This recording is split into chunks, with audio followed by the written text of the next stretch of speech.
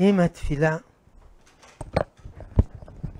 לא באה לשנות שום דבר ברצון השם, למה היא מנוסחת בלשון בקשה? כלומר, אם התפילה לא באה לשנות שום דבר, אז למה מתפללים?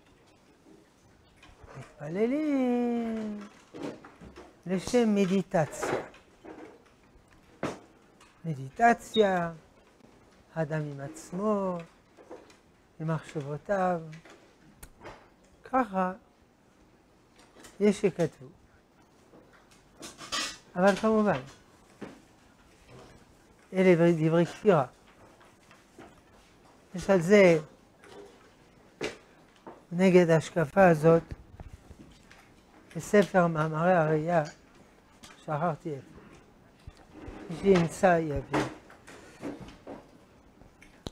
בוודאי שהתפילה היא לבקש משהו.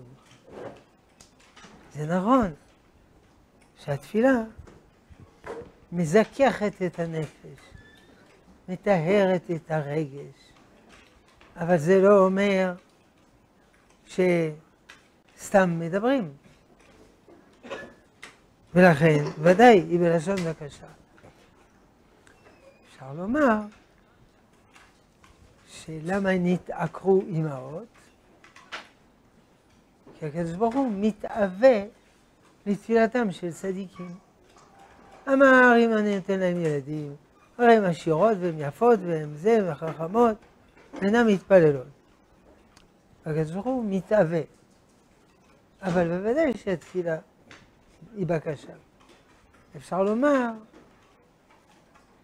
עיקר התפילה היא הזיכוך הפנימי. כלומר,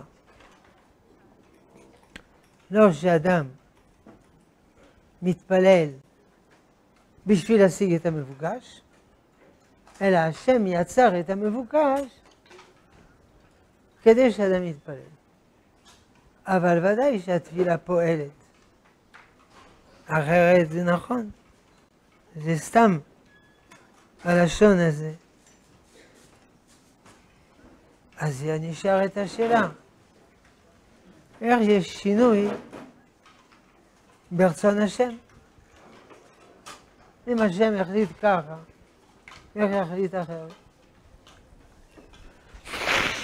תשובה, השינוי הוא לא בשם, כמובן, אלא הוא באדם. משל אומר,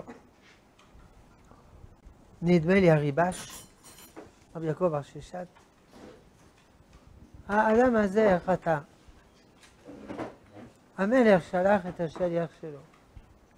אמר תן לו על הראש, ותגיד, אתה תחטוף מכות. אבל אם הוא יבקש סליחה ויבכה, עזוב אותו. אז אדם בא השוטר של המלך, אומר, תן לך מכות. לא, בבקשה, בבקשה, לא עושה יותר, סליחה. לא תקבל מכות. אז הוא חושב שהוא שינה דתו של המלך. לא. דתו של המלך היא דו-כיוונית. אם הוא יתעקש, ככה, ואם לא, ככה. וכמובן, יכולות להיות הרבה סיבות. אז זה לא שינוי ברצון השם, זה שינוי באדם. האדם הזה חולה, אז התשובה, אדם אחר. השאלה היא לא כזאת. השאלה היא איך אדם יכול להתפלל על חברו. אם אדם מתפלל על עצמו, יש שינוי פנימי. אז הגזירה האלוקית לא הולכת על המצב הזה. אבל אם אדם מתפלל על חברו, אין שינוי פנימי אצל חברו. זה הקושייה. תירוץ, זה לא ככה. כל הנשמות מחוברות. סוד אחדות הנשמות. וכשחל שינוי בנשמה א', חל שינוי בכל נשמות המין האנושי. הפטרה. ליסוד שמיים, לייסד ארץ, ליסוד שמיים, וניטוע שמיים לייסד ארץ. נפש החיים, פרק א', שער א', אדם, בכל מעשה טוב שלו, הוא פועל על כל העולמים. אפשר לסגור את הדלת, אבל יותר על עם ישראל, ויותר לחברים שלו, כי הקישור הנשמתי הוא יותר גדול. אז זה נכון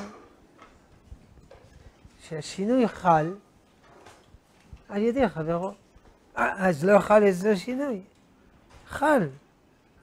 כי כל ישראל ערבים זה לזה.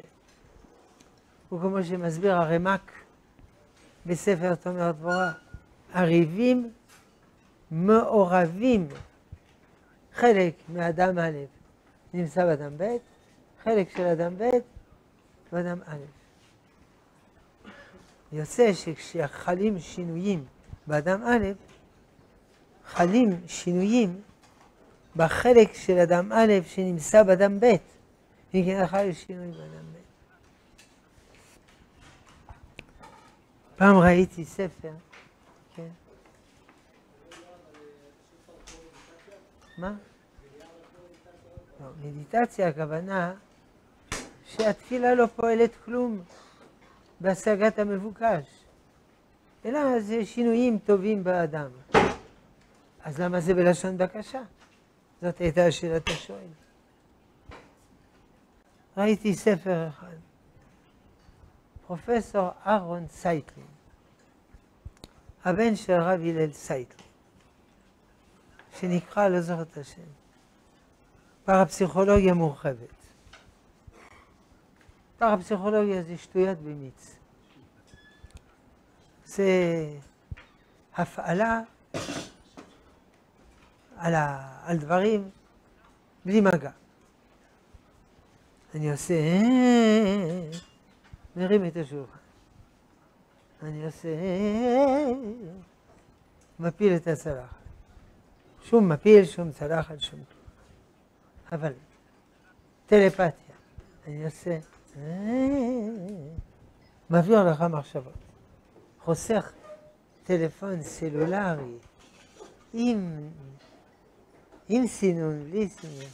אה, אה, אה. אין שום...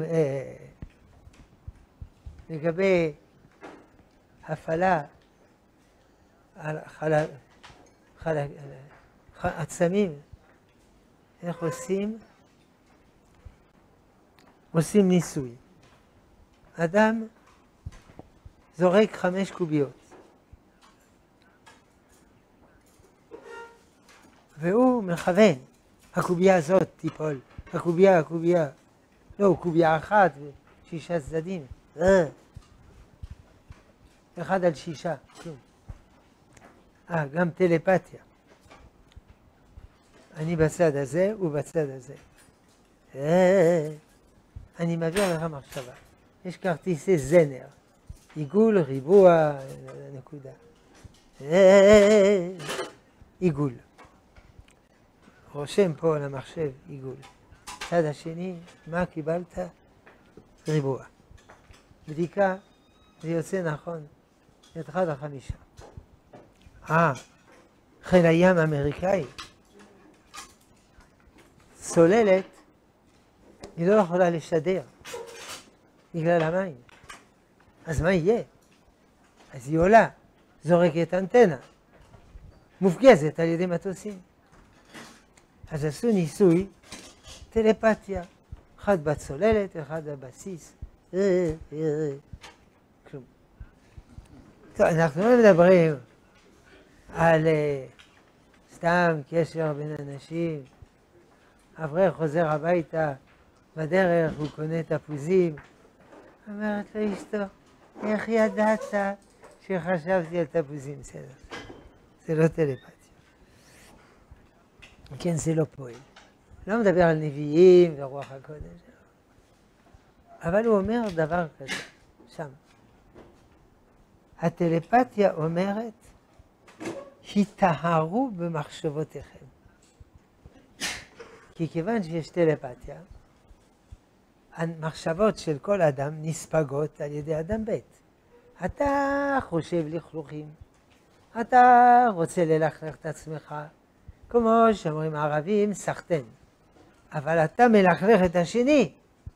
אני לא נתתי לך רשות ללכלך אותי, לכן תחשוב מחשבות נקיות. אה? פה יש ניצוץ של אמת. לא בגלל הטלפתיה, אלא בגלל סוד חיבור הנשמות. על מה דיברנו? אה, איך אדם מתפלל על השני, איך זה מועיל. כי החלק שלי שגר בו מזדכך, ויוצא שחלק ממנו מזדכך, שזה אני. גם כל ישראל ערבים זה לזה במובן ההלכתי. אתה רוצה לעשות עבירה, תעשה עבירה. אבל אתה עושה עבירה על החלק שלי שנמצא בך. מעורבים זה בזה. אני נותן לך רשות ללכלך את החלק שלי שגר בך. רמק. שם. אה, כן. הקדוש ברוך הוא רוצה שנתפלל, כי התפילה היא זיכוך הנפש. בזה שאתה מתחנן אל הקדוש ברוך הוא.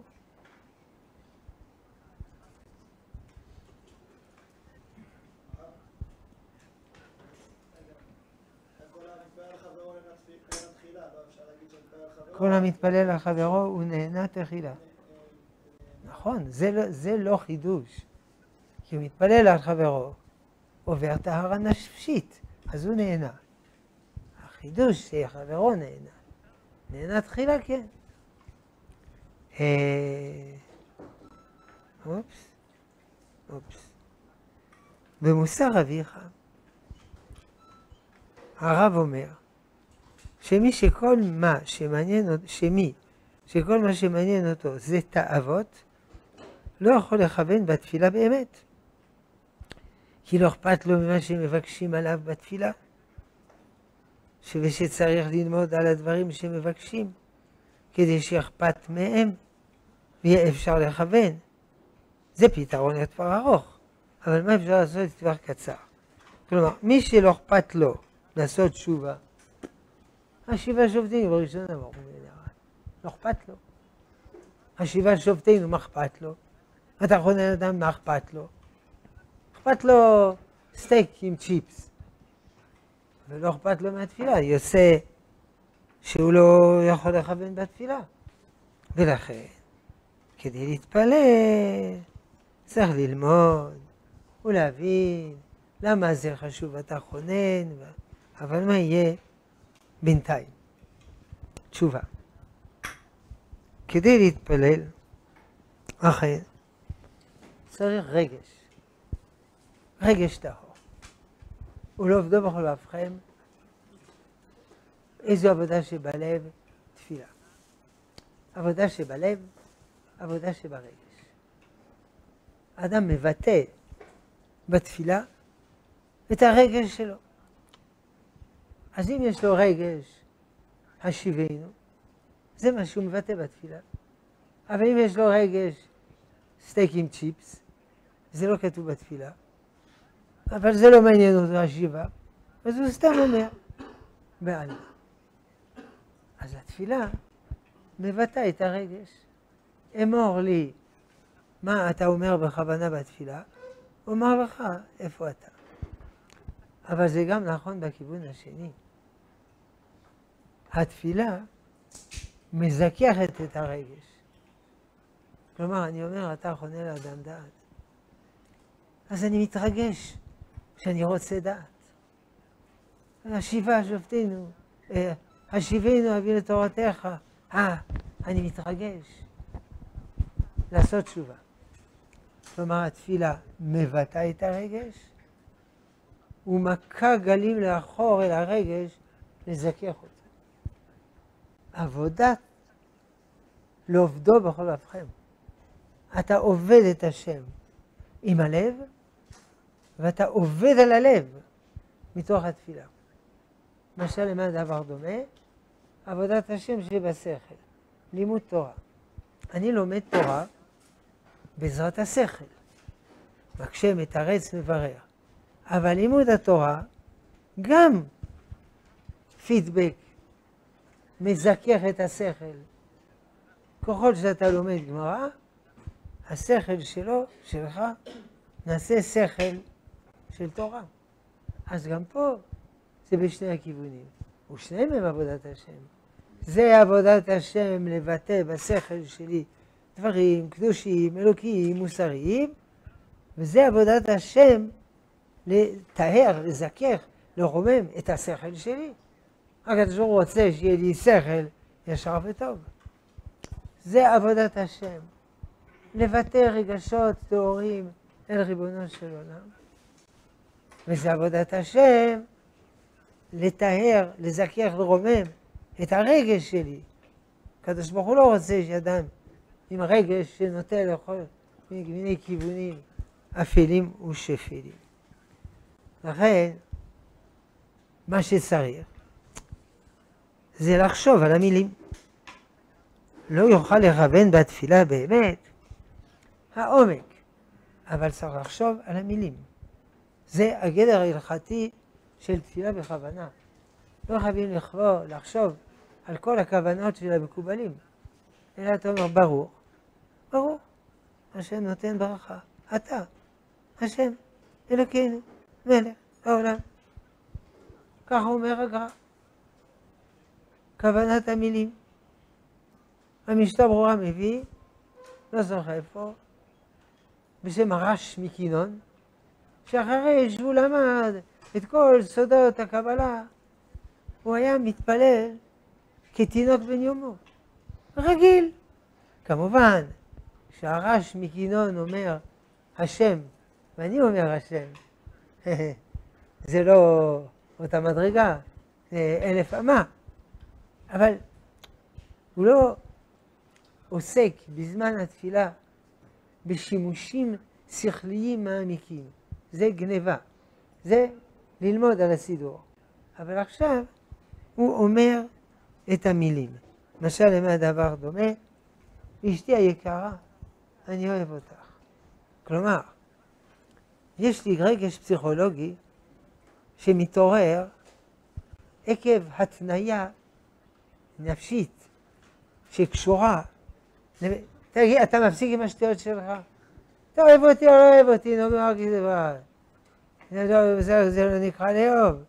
עושה לעצמו ניתוחים פסיכולוגיים בזמן שאני אוהב אותך. לא, זה בפשטות, בתמימות. טוב, עד כאן, בעזרת השם.